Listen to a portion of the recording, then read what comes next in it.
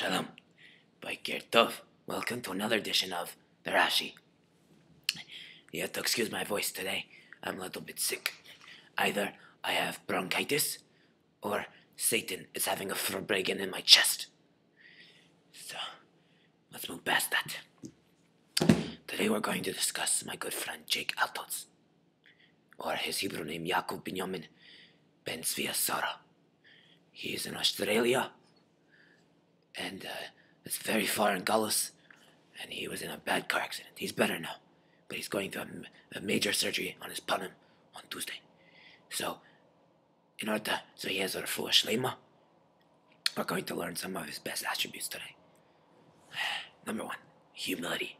Jake's a humble guy.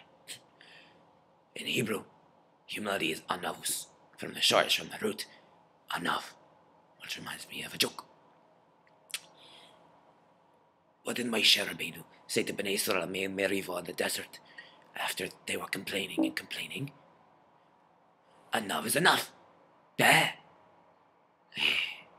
okay. Yes, good. Another good attribute of Jake is that he's a funny guy.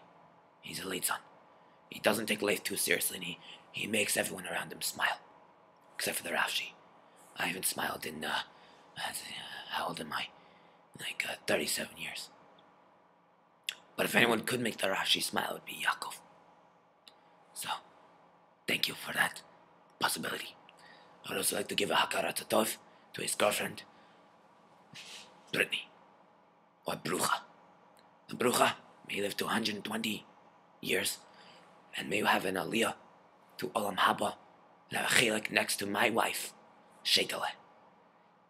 She makes a killer kishka.